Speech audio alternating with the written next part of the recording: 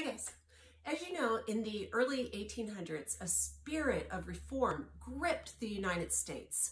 And this coincided with the Second Great Awakening, which meant that Christianity was the heart of a lot of the reform movements. Those that dealt with, for example, the abolition of slavery or the temperance movement or the anti-war movement or even a movement to further create an equality between the sexes. This is the thing. Americans are very individualistic and we are not very good at moderation. This is true even though we operate within a political system that was created exactly to stop the excesses of democracy. After events like Shays' Rebellion way back in the 1700s before we had a constitution, the founding fathers determined that, well, if you have simple majorities, sometimes big groups can just trample over little groups, and that's not necessarily a good thing. So let's throw together a system in which these guys and these guys might have entirely different interests, but they'll have to speak with each other and debate with one another and seek some compromises to get anything to push forward. That means the founding fathers wanted a lot of gridlock in our system because people often just dig in and they don't like to compromise. Perhaps that's why we seem to be, as a people, a great lover of factions. We tend to split apart into smaller groups within even the bigger groups that we tend to join on our own. Now, you might think I'm about to talk about politics, which would be an obvious place to go, but no. What I am interested in today is illustrating this uh, factionalism that Americans seem to be so great at within the social movements of the early 1800s. Let's start with the temperance movement. The mostly women who founded the Temperance Society wanted to solve the problem of drunken excess within their communities. That's a good common goal.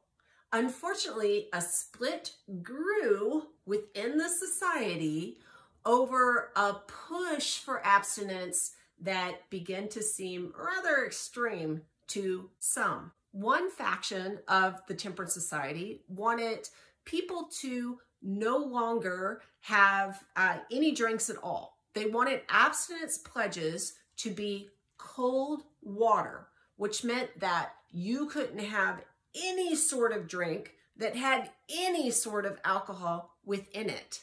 Whereas another faction of the Temperance Society wanted to go more moderate. Americans were drinking more than Europeans. They were, oh, we like to liquor it up. And this faction said you could go from doing that to just having, you know, some beer and wine. After all, even the Puritans drank beer, and it's not like the Puritans were known for going out on big benders. Hanging witches, yeah, but benders, no. The American Peace Society was another group that saw a split. This is an anti-war group, and the founders of the American Peace Society were Christian ministers, and they did not agree with aggressive warfare. However, some of the members of society ended up becoming early pacifist and they proclaimed war is never, ever, ever, ever justified, even in cases of self-defense. And in fact, self-defense isn't really justified. So I guess if you're an individual and someone's coming after you, run run fast because uh, you're not allowed to hit back. While the idea that might does not always make right gained a lot of traction, this conception that national defense or self-defense on an individual level was somehow immoral was viewed, especially per the American understanding of natural rights, as a bit extreme. Now, I'm not saying that extremists never had a point. For example, While various groups could get a lot of Americans on board the slavery is wrong train and should probably eventually maybe be reduced and fade away gradually sometime in the way far future somehow. Abolitionists who recognized the true humanity of people being held in bondage wanted that institution to collapse right then, completely, absolutely, forever, and they were on the fringe. Let's think about some other types of radicalism in the antebellum era. Robert Owen, a Welsh guy who moved to the US in 1824, wasn't a Christian at all. He was a humanist. And he founded something called utopian socialism. What was that? Well, it was this idea that people could organize themselves into communities with no socioeconomic classes. It was an early form of socialism without any sort of revolutionary element in it. When I say revolutionary element, I mean there was no proletariat that had to overthrow the bourgeois. That's something that comes along later with the writings of Marx and Engels. Anyway, Owen started a classless community in Indiana, but it failed within just a couple of years. There were multiple, like, I don't know, 9, 10, 11 other Owenite communities that cropped up all around the United States, but all of these failed as well. Uh, this is because people fought within them. There's a lot of factionalism in the communities and they, they weren't economically viable. When people had cooperative labor, for some reason things didn't get done. To understand why these socialist experiments were considered pretty radical, you just need to recall that The Wealth of Nations was published in 1776, and the United States is built on a capitalist economy with a conception of private property being bound tightly to liberty. Another group of people who were considered kind of way far out there were the Shakers. And the Shakers were people who shook like the Quakers. They actually came from the Quakers who quaked. And they had a leader in the United States who said sex was the root of all sin. So everyone within a Shaker community should become completely celibate forever with no marriages either.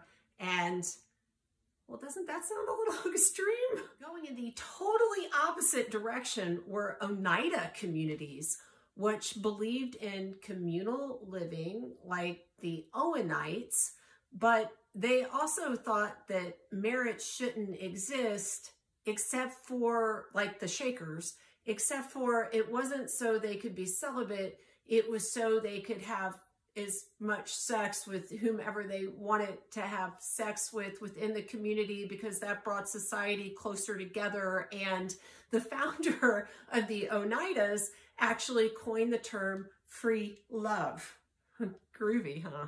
While you're wrapping your mind around that, you might want to know that middle-aged Oneidan women guided adolescent boys into learning about physical interactions because the women couldn't conceive anymore and the boys needed guides. Pregnancy was viewed, by the way, as a drag on women, even though parents did not actually raise their own offspring. Children were rather sent into a space where they were raised by selected members of the community. And actually only certain people were supposed to procreate because they would have the best children which is kind of a freaky sort of breeding program which is super strange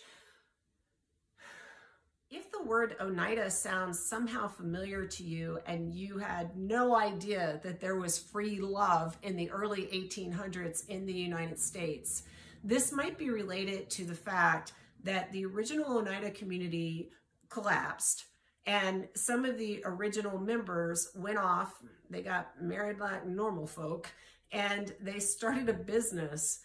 Oneida silverware still sold today. Finally, I want to talk about the Transcendentalist movement because that impacted American literature in a large way and I think has the longest lasting legacy of all of these different groups of people that I've talked about, except for perhaps the abolitionists who do indeed see the collapse of slavery. Yay! Led by Ralph Waldo Emerson, the Transcendentalists believed an individual could transcend his or her material reality and perfect his or her individual self.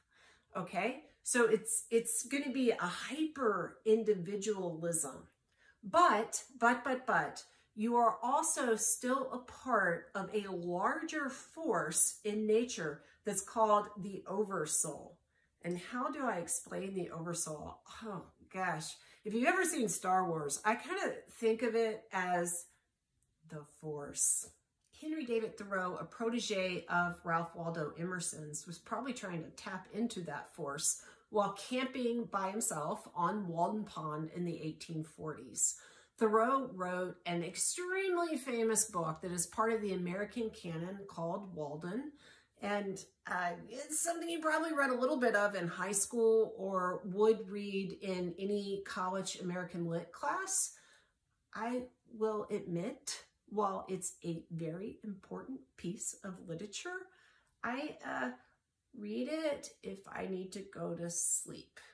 Still, an educated person needs to know that Walden, Henry David Thoreau, all part of the transcendental movement. To be fair to me, before you think I'm a peasant who hasn't read much, Nathaniel Hawthorne, who is an equally famous writer from this period, was not really all that down with transcendentalism. He made endless fun of Brook Farm, which was a kind of commune founded by transcendentalists. Just to kind of lay out some of the thought process, uh, the people who lived on Brook Farm thought that if they worked together, they could get uh, the farm going, they could sell their agricultural goods, and because they were working together, they could get through the work quicker, and then each of them as individuals would have more time for leisure and to go off and to think whatever thoughts they wanted to think as they developed their individual intellects without having to earn money on their own. Brook Farm failed, and Nathaniel Hawthorne wasn't at all surprised because he thought this was a pretty pie in the sky, utopian sort of endeavor. For Hawthorne, the very premise that you can perfect yourself was a little wackadoo because he believed that people have a nature and human nature is, well, flawed. All that said, I do want you to know, I, I like some of Ralph Waldo Emerson's work. For instance, his essay, Self-Reliance, is an interesting thing to read. And while I don't believe in everything he asserts, I actually love an overriding theme within that essay, which is that man should learn to think for himself. Man, or obviously woman. anyway, uh, I hope that I taught you a little bit about some of the wild and wacky things that were going on in the early 1800s. What's one conclusion we might be able to make from all of this? I'd say it's in the American nature to test boundaries, a little like teenagers. And sometimes that's good. Sometimes it's not. but sometimes it is after all, when you encourage freedom, people will tend to pull you in weird ways. Maybe too far over here, or maybe too far over here, and an endless tug of war between factions and different interests until sometimes you actually get pulled into the middle, which is where most people are. They just want to live their lives. They don't want to do anything weird. And well, we stay there for about half a second until someone pulls again. Forget about the social movements. You can think a second about our politics. It's an endless cycle. Bye.